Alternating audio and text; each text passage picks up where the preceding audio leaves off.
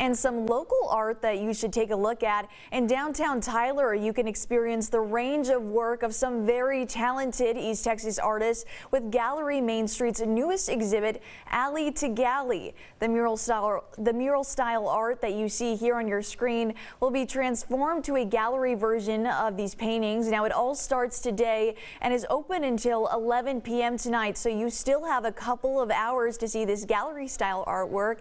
And remember, you can buy a piece that stands out to you. Just head over to the Plaza Tower Tower Atrium, excuse me, or you can see the exhibit online at downtowntyler.org.